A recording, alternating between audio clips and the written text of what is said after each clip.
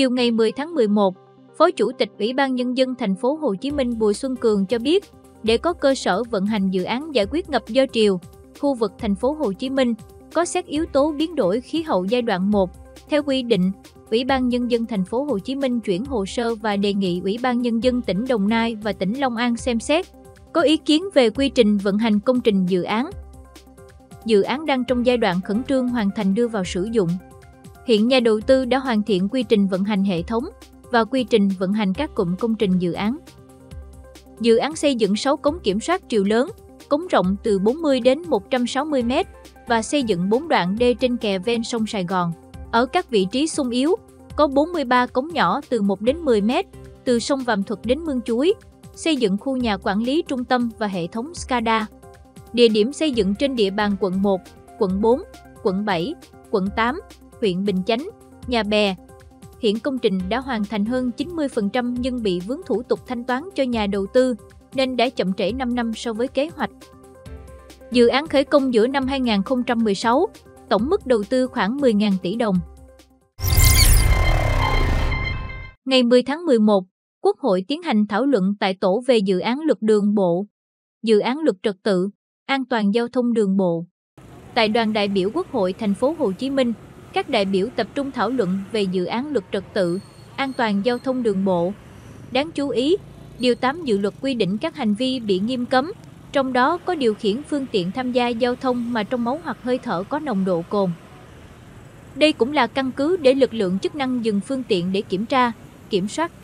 Cơ quan thẩm tra, Ủy ban Quốc phòng và An ninh của Quốc hội cho biết, một số ý kiến trong Ủy ban đề nghị cân nhắc nội dung này vì quá nghiêm khắc và chưa thực sự phù hợp với văn hóa, phong tục, tập quán của một bộ phận người dân Việt Nam, làm ảnh hưởng đến quá trình phát triển kinh tế xã hội của nhiều địa phương.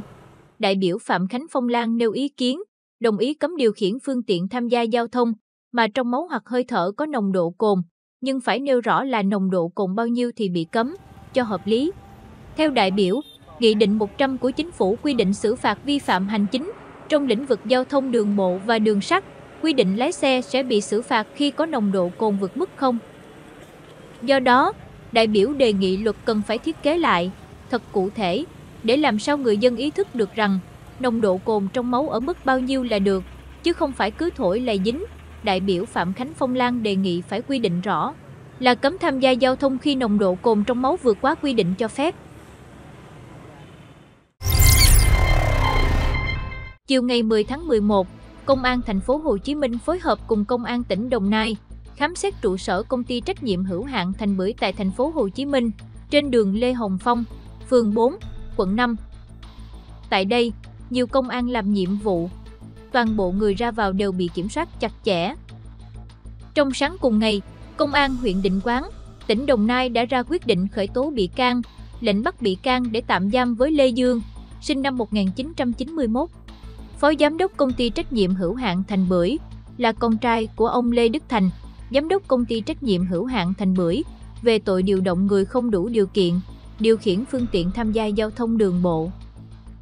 Theo điều tra, ngày 30 tháng 9, Lê Dương đã ký lệnh vận chuyển, thể hiện việc điều động Hoàng Văn Tính điều khiển xe ô tô thực hiện hành trình từ thành phố Hồ Chí Minh thành phố Đà Lạt, trong khi Tính đã bị công an tỉnh Lâm Đồng tước giấy phép lái xe từ ngày 5 tháng 8 năm 2023.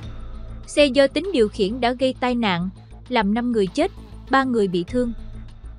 Liên quan vụ việc, cơ quan cảnh sát điều tra công an thành phố Hồ Chí Minh cũng đang điều tra tin báo về tội phạm tại cục thuế thành phố Hồ Chí Minh ngày 25 tháng 10 năm 2023 về vụ việc có dấu hiệu trốn thuế xảy ra tại công ty trách nhiệm hữu hạn Thành Bưởi. Ngày 30 tháng 10, Sở Giao thông Vận tải thành phố Hồ Chí Minh đã làm việc với công ty trách nhiệm hữu hạn Thành Bưởi để lập biên bản vi phạm hành chính với 8 lỗi, tổng số tiền đề xuất xử phạt là 90 triệu đồng. Trong đó, có hai hành vi áp dụng hình thức xử phạt bổ sung, tước quyền sử dụng giấy phép kinh doanh vận tải từ 1 đến 3 tháng. Ngày 10 tháng 11, Công an tỉnh Hà Tĩnh cho biết đã triệt phá thành công đường dây buôn bán pháo liên tỉnh, bắt giữ 4 đối tượng, thu giữ gần 1.500 kg pháo. Sau một thời gian theo dõi, Công an thị xã Kỳ Anh đã bắt giữ đối tượng Phan Văn Tuân, sinh năm 1999, trú xã Hương Xuân, huyện Hương Khê, tỉnh Hà Tĩnh, về hành vi tàn trữ 6,78 kg pháo nổ. Tiếp đó, Công an thị xã Kỳ Anh đã chủ trì, phối hợp với các phòng nghiệp vụ Công an tỉnh Đồng Nai, An Giang, Cà Mau, bắt giữ các đối tượng gồm Vũ Trí Hiếu, sinh năm 1989, trú xã Bảo Hòa, huyện Xuân Lộc, tỉnh Đồng Nai, Nguyễn Vĩnh Phú, sinh năm 1987, trú xã Phước Hưng, huyện An Phú, tỉnh An Giang, Nguyễn Chí Tâm, sinh năm 1981, trú xã Tam Giang Tây, huyện Ngọc Hiển, tỉnh Cà Mau, Nguyễn Văn Trường, sinh năm 1988, trú xã Quốc Thái, huyện An Phú, tỉnh An Giang. Cơ quan điều tra khám xét khẩn cấp nơi ở, nơi làm việc của các đối tượng. Thu giữ gần 1.500 kg pháo hoa nổ và một số tăng vật khác có liên quan đến hoạt động mua bán pháo. Các đối tượng khai nhận, do thấy lợi nhuận cao nên Nguyễn Vĩnh Phú, Nguyễn Chí Tâm đã bàn bạc, góp tiền mua pháo từ một số người Việt sinh sống tại Campuchia, sau đó thuê người vận chuyển bằng đường sông về tập kết tại nhà Phú và Tâm để bán kiếm lời. Đối tượng cầm đầu là Nguyễn Vĩnh Phú đã phân công nhiệm vụ cho từng đối tượng. Theo đó, Phú là người kết nối mua pháo, quản lý các tài khoản ảo trên mạng xã hội để kiếm khách mua pháo và nhận tiền. Nguyễn Chí Tâm trực tiếp nhận thông tin người mua pháo từ Phú và đóng gói, in đơn hàng. Nguyễn Văn Trường có nhiệm vụ vận chuyển, gửi hàng.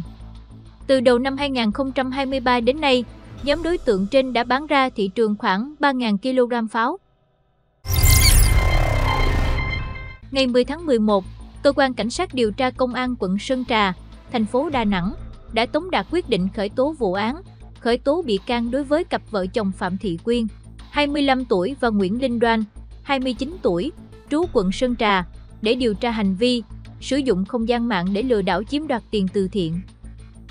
Theo điều tra, khoảng tháng 12 năm 2022, chồng của Quyên là Nguyễn Linh Đoan lên Facebook tìm kiếm các bài viết, chia sẻ về những hoàn cảnh khó khăn rồi sao chép lại, thêm nội dung là các số tài khoản do Quyên đang sử dụng, rồi kêu gọi quyên góp tiền từ thiện. Với hình thức trên, Đoan đã lợi dụng sự thương cảm của cộng đồng mạng, rồi chiếm đoạt tiền từ thiện sau khi tiền được chuyển vào số tài khoản của Quyên. Từ tháng 12 năm 2022 đến tháng 2 năm 2023, đôi vợ chồng này đã cấu kết, chiếm đoạt hơn 91 triệu đồng tiền từ thiện. Cơ quan chức năng áp dụng hình thức cấm đi khỏi nơi cư trú để phục vụ điều tra đối với Phạm Thị Quyên. Riêng đối tượng Nguyễn Linh Đoan đã bỏ trốn khỏi nơi cư trú. Ngày 10 tháng 11, Công an quận 7 đang phối hợp các phòng nghiệp vụ Công an thành phố Hồ Chí Minh điều tra vụ ba người tử vong trong một phòng trọ trên địa bàn.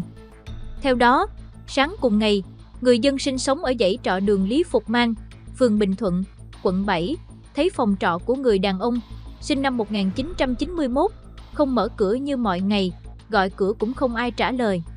Nghi vấn, người dân phá cửa vào trong thì phát hiện hai vợ chồng cùng con gái đã tử vong. Thời điểm đó, trên bếp phòng người đàn ông vẫn đang nấu bắp. Nhận tin, công an có mặt khám nghiệm hiện trường, tử thi, lấy lời khai nhân chứng. Qua điều tra, ba nạn nhân được xác định tử vong do ngạt khí.